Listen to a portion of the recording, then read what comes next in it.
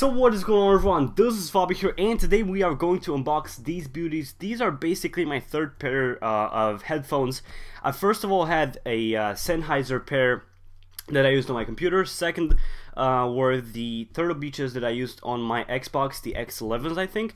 And these are the Urban Ears Plattan or Platoon, whatever the f they're called. Uh, the Mocha or I think it's called Mocha in English. Uh, if you guys are from Romania, you probably know that Mocha in our language means free, or basically just free. First of all, I'd like to take a look at the back side of the box. You can see we have some features of the uh, headphones. The one that I like the most I will talk about later on. But first of all, or second of all, let's get to the unboxing. Um, as you can see, it's really nice, really nicely packaged. And if you wonder why it's actually kind of broken over here, it's because my friend over here who's filming who I'm very grateful for uh, because he's doing all this work, destroyed the box basically. He just ruined it. Now let's take a look, and here we have the headphones. Uh, the color is very nice, and I do think that this is going to last for quite some time. I didn't want to get uh, a very light color because I know, or I knew that that would get very, um, very muddy and very, very bad looking very fast. And personally, I do take care of my things in general, or everything that I own, but I did not want to, um, you know, get a color that would be very prone to um, to mud and to dirt and to everything. So here are the headphones. There's not really much else to it other than uh, some sort of adapter, which is a uh, neutral stereo plug. I don't even know what this is supposed to actually do. My friend Dennis just informed me what this actually does, and in fact, it stops the microphone from working apparently. I don't know why that would be uh, helpful, but apparently that's what it does. Now let's take a look at what we have in the box as well. Here is a very beautiful uh, manual that I've also seen in some of the other videos. It's very colorful and it's also got some information. As you can see, it's just all about colors and this is basically what I've seen uh, that Urbanears is all about. The sound quality, as far as I've heard, is very good, uh, but we are going to take a look at that later on. But the fact is that they really make their uh, headphones look very pretty, and I appreciate that.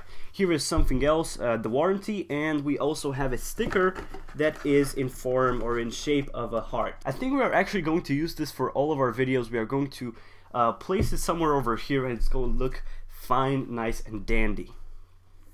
So now let's take a look at the headphones themselves. As you can see, they're a really light or a really small package when you actually bundle them up. And uh, they're really easy to carry around because they're really light and you don't really uh, feel like you're being bogged down by your headphones uh, because that's one of the fears I've had before buying these. Uh, but they're actually really nice to carry around and if we actually open them up, you will see that they look very nice and they're um, they're really high quality, I would say, for this price point at least. They're probably the best uh, headphones you can get.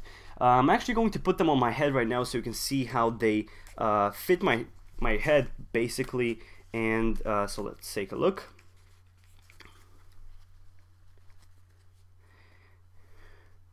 They really do sit on my um, ears very comfortably, and I can barely hear what I'm talking about, so I might be talking a little bit more loudly. Uh, but they're really nice, and I feel like they do provide some noise cancellation. But now I'm actually going to try them out or test them out with my iPod on Spotify and see how they actually sound. Oh, okay. So I listened to about 30 seconds of audio right now on my headphones or my new headphones, and I can proudly say that these were worth the money. I personally paid about um, 40 UK pounds on them. I don't know how that would translate to US dollars. Probably around 55, I would say. And they do sound very, very awesome. One of the things that I personally like is the fact that the noise cancellation, uh, while passive, it works great. And I couldn't hear what my friend was saying, and I believe that he was talking fairly loudly, and I couldn't hear a damn thing of that. So I do think that these are going to be nice when you're on the plane or when you're taking a ride out to you know, to work basically, commuting or something. These are probably the best headphones for this price range. And I do have some others to test over here. These are the Bose AE2, the wireless edition, but I would use them with a cable. So let's try them out. Okay, now that I've listened to these as well, I can say that noise cancellation is not as effective as on these ones. It's probably because my ears are smaller and this covers my ear better, but I would personally not pay about 100 and something bucks more on these just for the wireless um, capability. These are really great. Expect a review soon on my channel if you want to know more about these.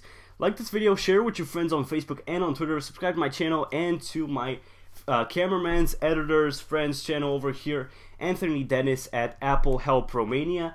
Uh, so peace out, guys. Peace. Have an awesome day. Stay tuned.